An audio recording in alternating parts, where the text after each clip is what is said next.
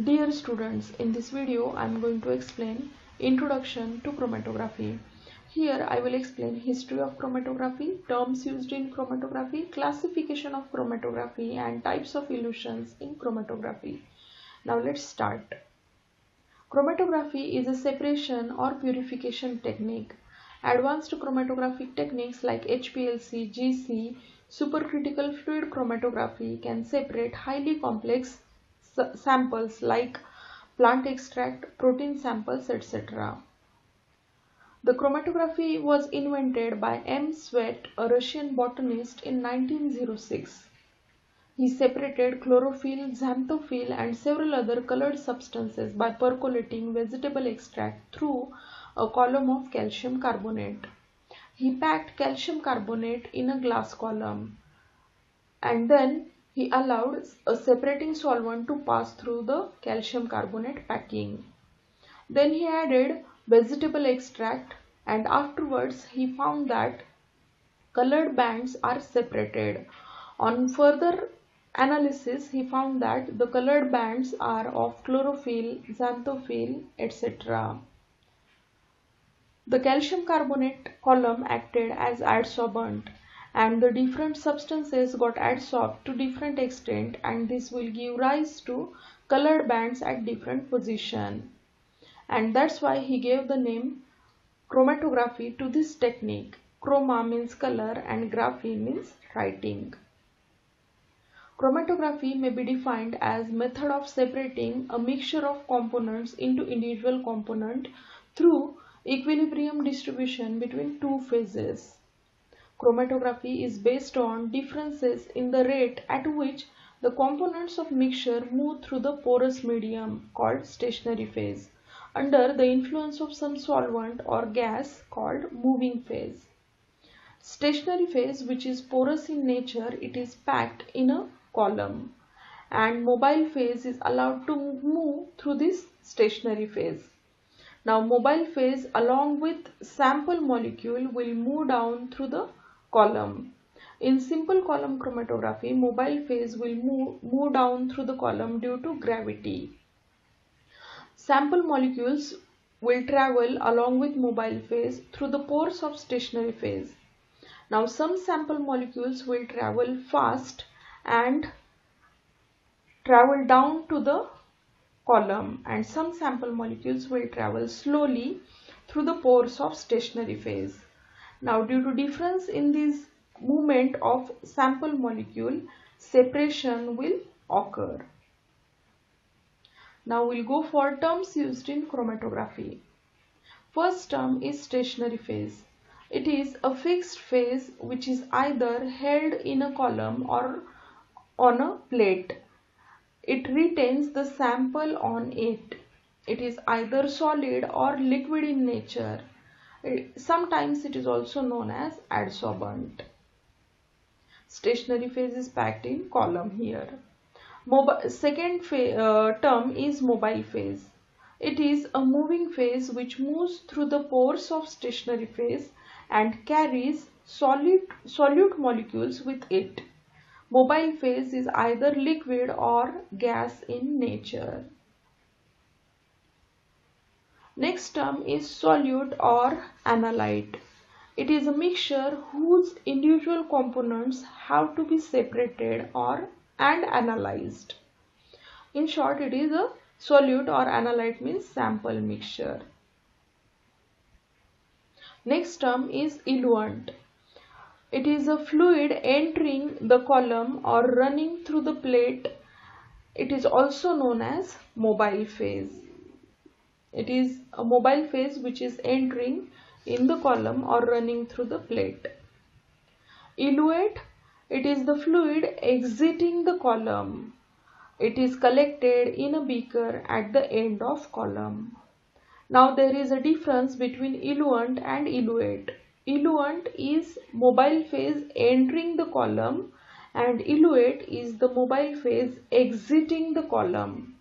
Now when it is exiting the column, it, it may be having solute molecules with it. Now the entire process is known as elution.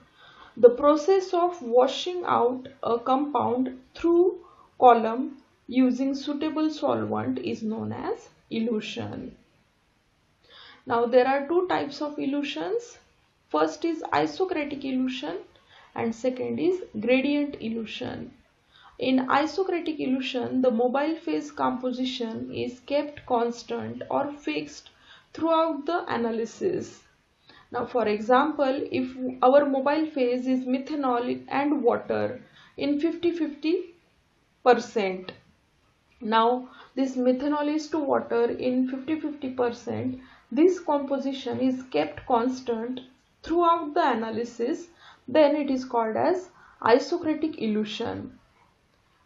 polarity of mobile phase is not changing in this type of elution.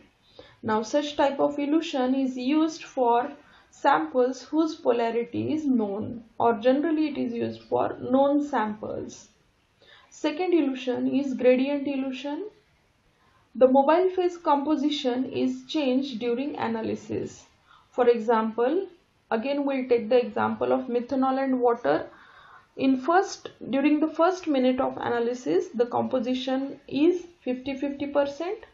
In the next minute it will be uh, methanol 51 and water 49 in next minute it will be methanol 52 ml and water 48 ml ne in next mi minute it will be 53 ml methanol and 47 ml water and so on so that means mobile phase composition is changing during the analysis.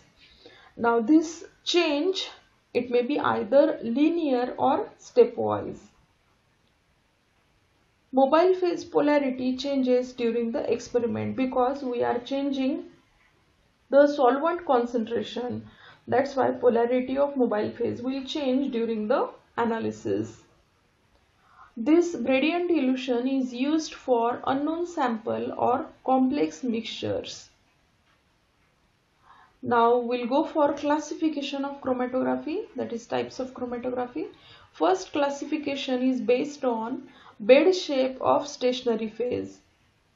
In that first class is planar chromatography where the stationary phase is either coated on a plate or it, it is a piece of paper it is not packed in column. For example, paper chromatography TLC, HPTLC. Now these are some plates which are used in TLC and HPTLC. The stationary phase is coated on these plates. The chromatography is in open open it is not packed in column and that's why it is known as planar chromatography. Second type is column chromatography where the stationary phase is packed in column. For example, liquid chromatography, HPLC, GC, etc. Now, uh, these are some columns which are used in HPLC. In such type of uh, stainless steel columns, the stationary phase is packed and such columns are used in HPLC. The columns of GC and liquid chromatography are different. Second classification is based on interaction of solute molecules with stationary phase. In this classification, first class is adsorption chromatography.